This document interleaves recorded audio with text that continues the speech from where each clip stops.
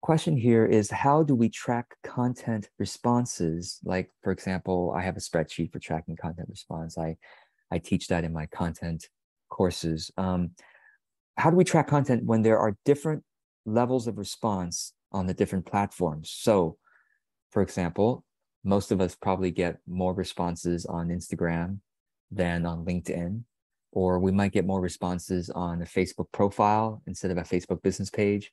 So here's what I my suggestion is for each platform, I mean, technically you of course you can track if you want to be more complex, you can track every single platform, the response for a single post, but that's a lot of work, more than I prefer. So I basically track for every format of the content, I track only one platform. So let me explain. If it's a video, I only track YouTube.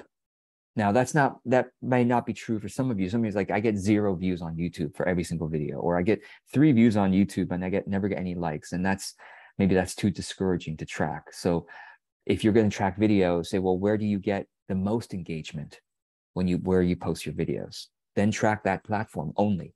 So let's say Instagram is the one. Okay, so fine. Then only track videos that you upload to Instagram and never track the YouTube metrics and make that decision for the rest of your life. okay. I mean, you can always switch, but when you switch, then you're like, well, I have, you know, like I think a couple years ago I was tracking something else and now I'm tracking YouTube and it's like, well, the other data, I'm just going to say, forget that data. I'm just going to re-upload those old videos at some point to the new platform so I can track it. So make a decision. If you're going to do videos, where are you where do you get the most engagement? Same thing with text only posts. Make a decision. Where do you get the most engagement with your text only posts, your articles, and just track that. So I hope this is helpful and makes you a bit more sane. And by the way, each each row that you're tracking on the spreadsheet might be a topic, and that one topic you might have made a video about and made a text only article about, I track that in the same row. It's like one row, let's say you're writing about mindfulness or something specific about that. Mindfulness uh, when talking to your boss or whatever. And so that's the topic.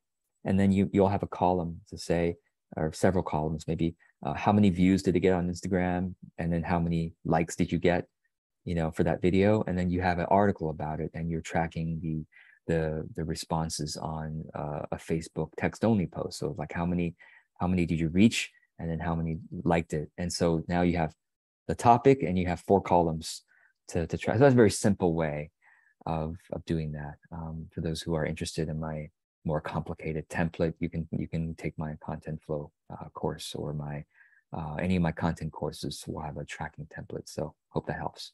I'll say one more thing actually is um, even if you don't track it on a spreadsheet, the social media platforms track those stats for you.